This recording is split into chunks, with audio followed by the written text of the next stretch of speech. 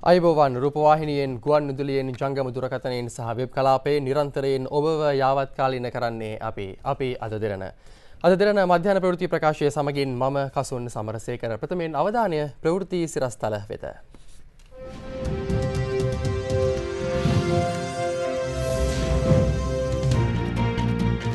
ජනපති අබ පොදුරද මඩුළු උළලට එක් වෙයි.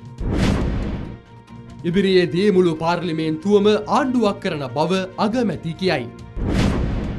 හිටපු ඇමති විමල් අල්ලස් කොමිසමට සංචාරකයින්ගේ පැමිණීමේ වර්ධනයක්.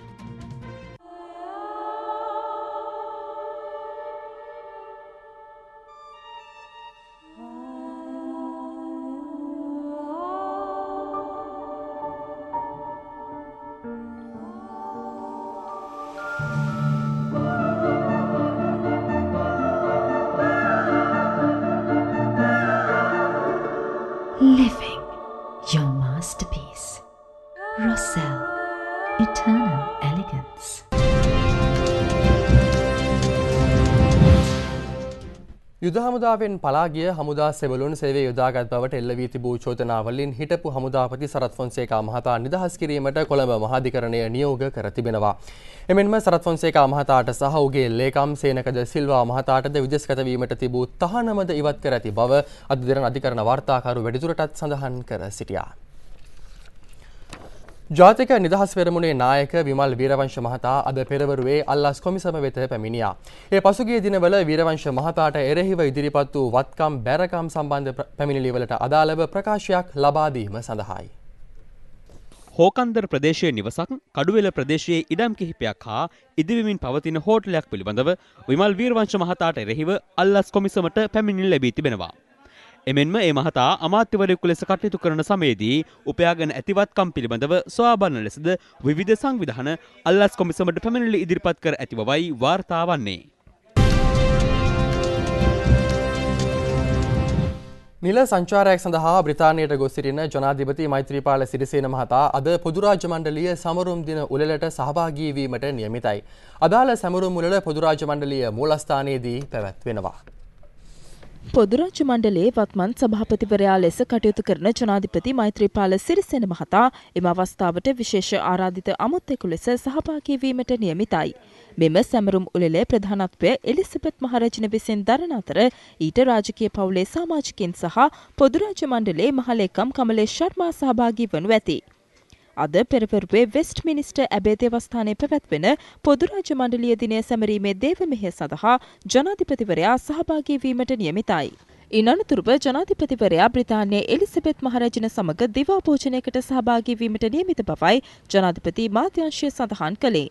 තෙදින නිල සංචාරයක් සඳහා ජනාධිපති මෛත්‍රීපාල සිරිසෙන මහතා පසුගිය සෙනසුරාදා බ්‍රිතාන්‍ය බලා පිටත්ව ගිය අතර ජනාධිපතිවරයා සහ දූත පිරිස ලන්ඩන් නුවර හීත්‍රෝ ගුවන් තොටුපළේදී මහත් හරසරින් යුතුව පිළිගනු ලැබුවා. මේ අතර ජනාධිපතිවරයා හෙට දිනේ බ්‍රිතාන්‍ය අග්‍රාමාත්‍ය ඩේවිඩ් කැමරන් මහතා මුණ ගැසී ද්විපාර්ශ්වික සාකච්ඡා පැවැත්වීමට සැලසුම් කර තිබෙනවා. ඉන් අනතුරුව ජනාධිපතිවරයා හෙට පස්වරුවේ බ්‍රිතාන්‍යයේ සිටින ශ්‍රී ලාංකිකයින් මුණ ගැසී සාකච්ඡා කිරීමට නියමිතයි. එළමෙන මැතිවරණයේ අනතුරුව සමස්ත පාර්ලිමේන්තුවම ආණ්ඩුවක් බවට පත්කිරීම තම බලාපොරොත්තුව බව අග්‍රාමාත්‍ය රනිල් වික්‍රමසිංහ මහතා පවසනවා. මේ සඳහා ජනතාව විසින් අවස්ථාවක් ලබා දෙනු ඇති බවට තමන් විශ්වාසය පළ කරන බවයි අග්‍රාමාත්‍යවරයා සඳහන් කළේ. ඇමිලිපිටිය බෝධිරාජ ධර්මායතනයේ පැවති උත්සවයකට සහභාගී වෙමින් අග්‍රාමාත්‍යවරයා මේ අදහස් පළ කර සිටියා. අපේ මෛත්‍රීපාල සිරිසේන ජනාධිපතිතුමා යටතේ අපි එකතු වෙලා අපි ඔක්කොම යහපාලනයක් ඇති කළේ. විවිධ දේශපාලන අදහස් තියෙන අය හිටියේ. එක අන්තයකින් ඉඳන් අනික් අන්තයට. විපර්යාසයක්, පෙරලියක්, විප්ලවයක් ඇති වුණාන් පස්සේ ඒකට සම්බන්ධ වුණා අතර තියෙන මත ගැටුමක් අපි කොහොමද මේක තව ඉදිරියට ගෙනියන්නේ? විවිධ මත දීලා තියෙනවා. මම හිතන්නේ ඒ කියන්නේ අපි තීරණයක් ගන්න ওই ගාට. මම නම් බලාපොරොත්තු වෙන්නේ අපිට පුළුවන් දී ඊළඟ සැරේ මුළු පාර්ලිමේන්තුවම ආණ්ඩුවක් බවට පත් කරන්න. එක කණ්ඩායමක් ඇමතිවරු හැටියට රට පාලනය කරනවා. කොහොමද මේ අමාත්‍යාංශ ගෙනියන්නේ? කොහොමද පරීක්ෂා කරන්නේ? අන්න එතෙන්ට යන්න පුළුවන් කියලා බැලුවේ.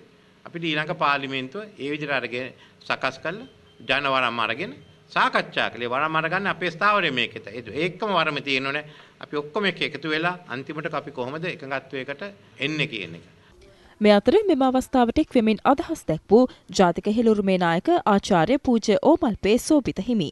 අවුරුදු 40ක පමණ අඛණ්ඩ දේශපාලන ඉතිහාසයක් තියෙන රනිල් වික්‍රමසිංහ මැතිතුමා දේශපාලන ඉතිහාසයේ වැදගත් චරිතයක් කිසිදු දූෂණ චෝදනාවකට ගොදුරු නොවි. කිසිදු වංචනික චෝදනාවන්ට ගොදුරු නොවි. අද දේශපාලකයන් මුහුණ දෙන බරපතලම ප්‍රශ්නය වන වංචාව හා දූෂණය පිළිබඳ ඔබතුමාගේ චරිතය කැළැල් වෙලා නැහැ. ප්‍රධාන දේශපාලන පක්ෂ දෙකම එකතු වෙලා මේ ආරම්භ කළ අලුත් වැඩපිළිවෙල. එතෙන්දී මේ වත්මන් පාලන රටාව බිහි කරලීමට ඔබතුමා මේ රටේ ප්‍රධානතම පක්ෂ නායකයා හැටියට ගන්නාලද පරිත්‍යාගශීලී පියවර. අපි අතිශයින්ම ප්‍රශංසාවට යොමු කරනවා. ආත්මාර්ථකාමීත්වයෙන් තොරව තමා නොව තමන්ගේ පක්ෂයේ පමණක් නොව රට අංක එකට යනුවෙන් සිතා ඔබතුමා ගත්ත පියවර නිසායි වර්තමාන පෙරලිය සිදු වුණේ. යහපාලනයේ නියමුවානන් වශයෙන් අද මෛත්‍රී පාලනයක් ගොඩනැගිලා තියෙන්නේ ඔබතුමාගේ අත්‍යන්ත කැපවීම නිසා. ඌව පළාත් ප්‍රධාන අමාත්‍ය ධූරයේ කටයුතු කරන හඬින් ප්‍රනාන්දු මහතා එම ධූරයෙන් ඉවත් කිරීම සඳහා අවශ්‍ය නීතිමය ක්‍රියාමාර්ග ගෙන ඇති බව විපක්ෂ නායක නිමල් සිරිපාලද සිල්වා මහතා පවසනවා. බදුල්ල ප්‍රදේශයේ පැවති ජගත් කාන්තා දින සමරුවම උත්සවයකට සහභාගී වෙමින් විපක්ෂ නායකවරයා මෙම අදහස් පළ කරා. අපේ හරින් ප්‍රනාන්දු මහත්මයා මම දැක්ක හැමතැනම පෝස්ටර් දාලා තියෙනවා. ස්තුති කරලා බඩු මිල අඩු කරා කියලා. හරින් ප්‍රනාන්දු මහත්මයාගේ කඩේට ගිහිල්ලා තමයි බඩු බඩු ගන්න ඕන දැන්. අඩු වෙච්ච බඩු. නමුත් වෙන තැන්වල නම් හාල් අඩු වෙලත් නැහැ, පරිප්පු අඩු වෙලත් නැහැ. පස්සතුරෙන් ඇවිල්ලා අපේ පක්ෂයේ පස් දෙනෙක්ගේ දියුරුම් ප්‍රකාශ අරගෙන නීති විරෝධී ලෙස පස්සතුරෙන් මහාමති වෙලා තියෙනවා. අපි මහාමතිකම පාරගන්නේ නැහැ. අපි ඒක අභියෝගයකට ලක් කරලා තියෙනවා. ටික දවසකින් ඔය මහ ඇමති පුටුවෙන් නීති අනුකූලව අපි එළවලා දානවා. ඒ සඳහා අවශ්‍ය නීති කෘතීන් දැන් අපි කරගෙන යනවා. ඉන්දී අග්‍රාමාත්‍ය නරේන්ද්‍ර මෝදි මහතාගේ ශ්‍රී ලංකා සංචාරයේ මෙරට පරිවාර අමාත්‍යවරයා ලෙස වැවිලි කර්මාන්ත අමාත්‍ය ලක්ෂ්මන් කිරියල්ල මහතා පත් කර තිබෙනවා. ඉන්දී අග්‍රාමාත්‍යවරයා මෙමස 13 සහ 14 දින තුල ශ්‍රී ලංකාවේ සංචාරය කිරීමට නියමිතයි. ඉන්දිය අග්‍රාමාත්‍යවරයා ලබන දහතුන් වනදා අලුයම පහයි තියට මෙරට පැමිණෙන අතර දාහතර වන දාරාතුරේ දහයට මෙරටින් පිටත්ව නොවැති. එම අතහ දහතුන් වැනි දින ජනාධිපතිවරයා හා අග්‍රාමාත්‍යවරයා හමුවීමට නියමිත අතර පස්වරුවේ පාර්ලිමේන්තු ඇමතීමටද නියමිතයි. පසුදින ඉන්දිය අග්‍රාමාත්‍යවරයා උතුරු නැගෙනහිර ප්‍රදේශවල සංචාරය කිරීමට නියමිත අතර එහිදී එම ප්‍රදේශවල දේශපාලන නියෝජිතයින් මුණගැසීමට නියමිත බවයි ලක්ෂ්මන් කිරියල්ල මහතා පවසන්නේ. මේ අතර ඉන්දී අග්‍රාමාත්‍යවරයා සිය ට්විට ගිනුමේ සඳහන් කර ඇත්තේ ඉතා සතුටින් හා විශ්වාසයෙන් යුතුව තමා ශ්‍රී ලංකාවේ සංචාරය කිරීමට අපේක්ෂා කරන බවයි.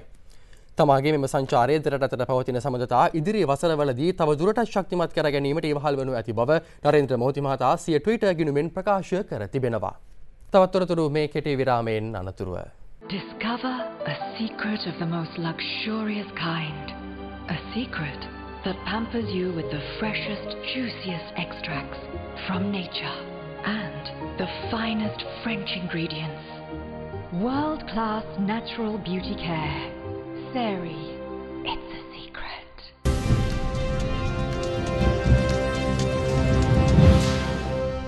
ඔබ යළිත් අද දෙරන සමගින්. අද ලෝපුරා දූෂණ වංචා සීග්‍රයේ නිහල ගොස් ඇති බව හලාවත රදගුරු අතියුතුම් වැලන්ස් මෙන්ඩිස් හිමිපාණන් පවසනවා. හිමිපාණන් මේ අදහස් පළ කළේ තලවිල ශාන්ත ආනාත් සිද්ධස්ථානයේ ශතාරික මංගල දේව මෙහයට එක්වෙමින්. තලවිල ශාන්ත ආනා සිද්ධස්ථානයේ චතාරික මංගල දේව මෙහි සඳහා ලක්ෂහයකට ආසන්න බැතිමතුන් සංඛ්‍යාවක් එක්ව සිටියා.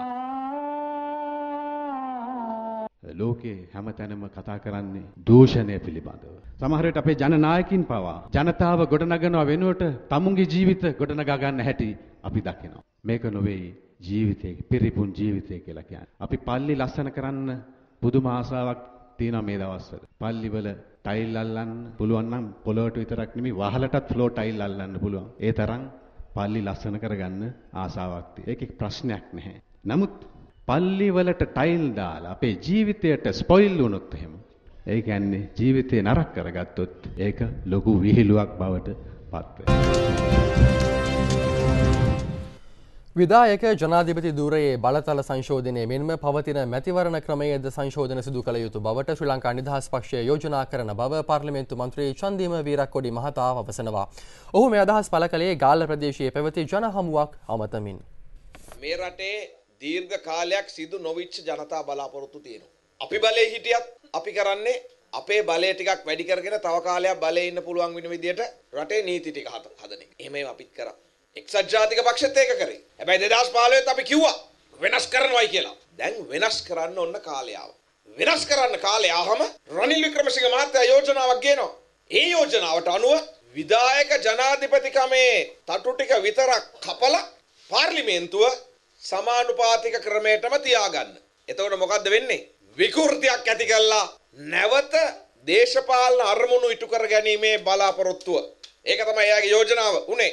අපි පක්ෂය හැටියට යෝජනා කරා මෛත්‍රීපාල සිරිසේන ජනාධිපතිතුමා අපේක්ෂ පක්ෂ නායකයා හැටියට එතුමා යෝජනා කරා මධ්‍යම කාරක සභාවේදී විධායක ජනාධිපතිකමේ බලතල අඩු කරනවට එකගයි. ඒ වගේම ශ්‍රී ලංකා නිදහස් පක්ෂය හැටියට මැතිවරණ ක්‍රමය සංශෝධනය කරන්නත් එකඟ විය යුතුයි.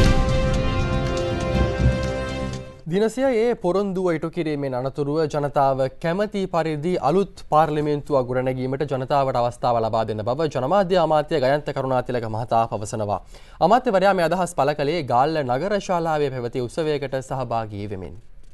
ජාත්‍යන්තර කාන්තාතිනයට සමගාමීව ගාල්ල නගරශාලාවේ පැවති අත්කම් නිර්මාණ ප්‍රදර්ශනයේ ප්‍රධාන ආරාධිත අමුත්තා ලෙස සහභාගිව සිටියේ ජනමාත්‍ය අමාත්‍ය ගයන්ත කරුණාතිලක මහතායි. එහිදී අදහස් දැක් වූ අමාත්‍යවරයා. අද වෙනකොට බොහෝ දෙනෙක් හිතපු නැති දේවල් මේ දේශපාලන පොරපිටිය තුළ සිද්ධ වෙලා තිබෙනවා. අවසානයේ අප්‍රේල් මාසෙ වෙනකොට අපේ මැතිවරණ ප්‍රකාශනයේ දුන් පොරොන්දු පරිදි දිනසීයේ පරිවර්තනය ඉටු කිරීමෙන් පසුව අපි ජනතාවට අවස්ථාවක් දෙනවා අලුත් පාර්ලිමේන්තුවක් තෝරා ගැනීම සඳහා Tamanට කැමති ආකාරයට දේශපාලන පක්ෂ තෝරා ගැනීමේ අවස්ථාව ලබා දෙනවා. එදාට එක්සත් ජාතික පක්ෂය හැටියට අපි ඒ සියලු පොරොන්දු ඉටු කරපු පක්ෂයක් හැටියට හා ආණ්ඩුවක් හැටියට ජනතාව ඉස්සරහට ගිහිල්ලා පැහැදිලි ජනවරමක් ලබා ගත යුතුයි කියන එකත් මම තමුන්නාන්සයට මතක් කර යුතුයි. දින හැටක් ගතවීමටත් මත්තෙන් පවතින ආණ්ඩුව බංකොලොත් භාවයට පත්ව ඇති බව එක්සත් ජනතා නිදහස් සන්ධාන පාර්ලිමේන්තු මන්ත්‍රී රොෂාන් රණසිංහ මහතා පවසනවා. ඔහු මේ අදහස් පළ කළේ පොළොන්නරුව ප්‍රදේශයේ පැවති උත්සවයකට සහභාගී වෙමින්. ජාත්‍යන්තර කාන්තාතිනයට සමගාමීව පොළොන්නරුව දිස්ත්‍රික් ඇලහර අධ්‍යාපන කොට්ටාසේ පෙරපස්සල් ගුරුවරයන්ට පාපැදි බෙදාදීමේ උත්සවයක් පැවැත්වුණේ රොෂාන් රණසිංහ ජනසහන පදනම අනුග්‍රහයෙන්. එහිදී අදහස් දැක් වූ මන්ත්‍රීවරයා. අද එක්සත් ජාතික පක්ෂ ආණ්ඩුව දින 60ක් යනකොට බංකොලොත් වෙලා ඉවරයි. දින 60ක් යනකොට එක්සත් ජාතික පක්ෂ ආණ්ඩුව බංකොලොත් වෙනකොට දැන් බලනවා කොහෙත්ද මේකට ජැක් ගහන්න හදන්නේ කියලා. ඉතින් එදා අපි කියන්න ඕන එදා මහින්ද රාජපක්ෂ මහත්තයාට පාර වැරද්දුවේ අපේ පක්ෂයේ තනතුරු තණ්හාවෙන් හිටපු දේශ මැතිවතුරු කණ්ඩායමක් වගේම අද මෛත්‍රීපාල සිරිසේන මහත්තයාට පාර වරද්දන්න ඉන්නේ. අන්නේ විදිහටම තනතුරු තණ්හාවෙන් ඉන්නවා එක කොටසක්.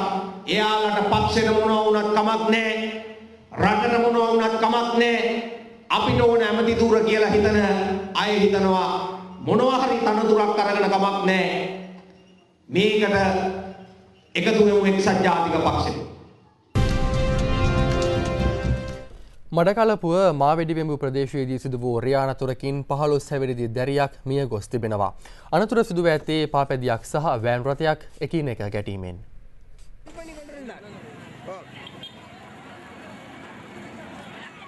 ඊයේ පස්වරුවේ සිදු වූ මෙම අනතුරින් මිය ගොස් ඇත්තේ පාපැදියක ගමන්ගත් පහළොස් හැවිරිදි ශිෂ්‍යාවක්. ඇය මඩකලපුව මාවෙඩි වෙම්බු ප්‍රදේශයේ පදිංචයෙක් බව අද දෙරණ වාර්තාකරු සඳහන් කළා. අනුතර සිදුපු අවස්ථාවේ ප්‍රදේශවාසීන් එක් වී අදාළ වෑන් රථය ගිනි තපා මුළුමනින්ම විනාශ කර තිබෙනවා. මේ වන විට අනුතර සිදු කළ වෑන් රථයේ රියතුරු සහ වෑන් රථය ගිනි තැබූ සැකකරුවන් දෙදෙනෙක්ද එරාවුර් පොලිස් අත්අඩංගුවේ පසුවන බව අද දෙරණ වාර්තාකරු සඳහන් කළා. එසමගින් අපගේ මධ්‍යන ප්‍රවෘති ප්‍රකාශය නිමාවට පත්වනවා තවත් තුරතුරු අපගේ වෙබ් අඩවියන්නේ www.අදදරන.lk සුවදවසක්